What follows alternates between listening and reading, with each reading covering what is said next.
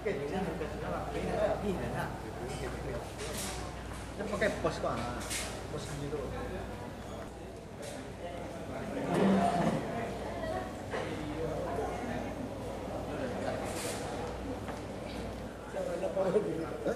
Ini kan tapi ke Bali Pak Ibu.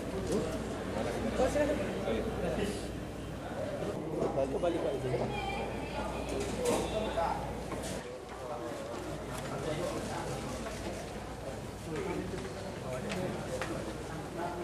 Yang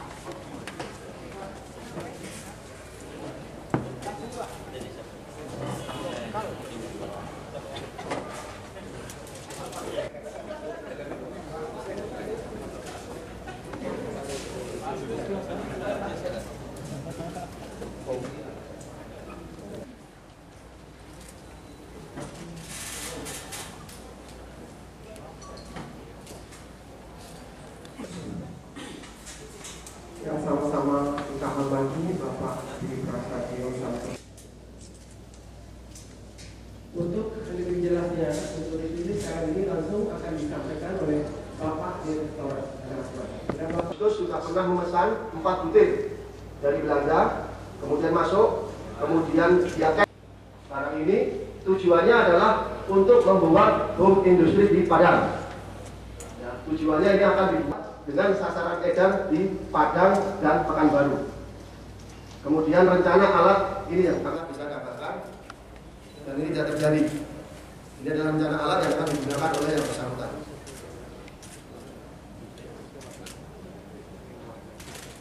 Rekannya jawab, dan mungkin ada tambahan dari kepala bea cukai.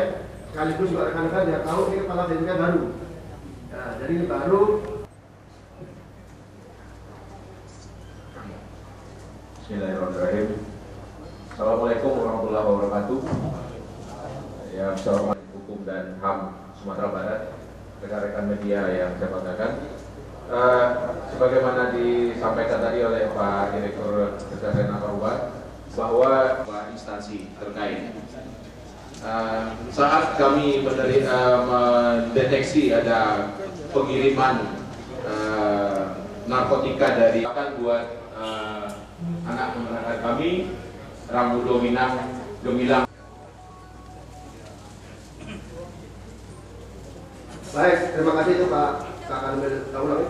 Bertanya jawab saja. Ya. Baik, silakan kalau ada rekan-rekan tanya silakan. tadi sampai umur 12 tahun artinya mereka ini ekstasi yang kita tahu fungsinya itu lebih banyak untuk hibernasi ketika kita beraktivitas melakukan musik dan sebagainya Ini juga buku. Ini bentuk bukunya ini. Silakan lagi. Pak, Pak ini, ini kan jaringan membuat membuat di sini. Jadi ini yang pertama dia pesan empat butir. Setelah dicek ternyata bagus, kemudian dia pesan ini, kemudian dengan pesan yang model buku. alatnya masih di dalam lapas atau udah ada langsung atau gimana? belanja pak biasa dibuka pak ini kan bisa sampai ke Padang melalui dua jadi itu kelemahan titik lemahnya di mana? Bukan kelemahan, makanya dia bisa ungkap. Peraturan dirjennya. Sebetulnya handphone itu tidak dilarang untuk narapidana. Yang dilarang Duduk aja Pak, biar kelihatan namanya Pak. Duduk aja Pak.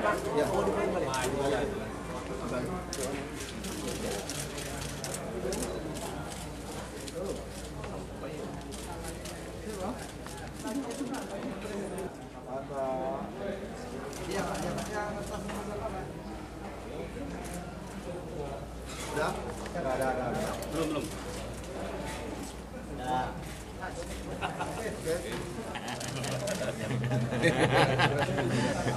Pinter-pinter ya.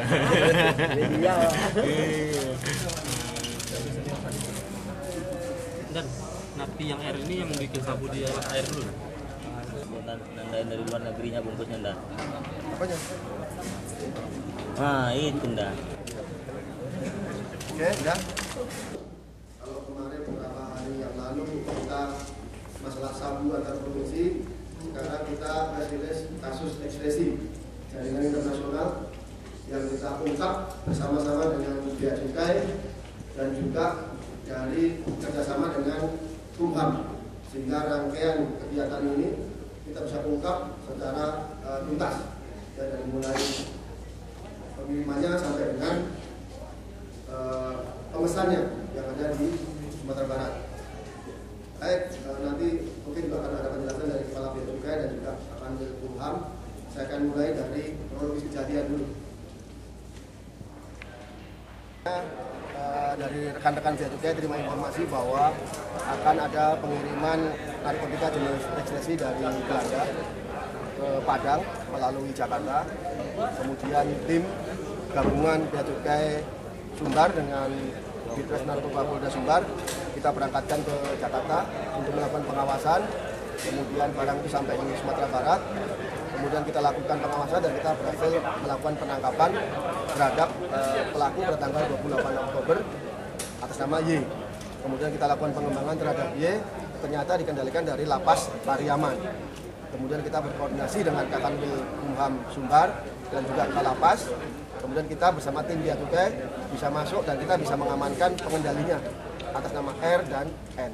Kasus pengendalinya ini sendiri apa Pak di lapas?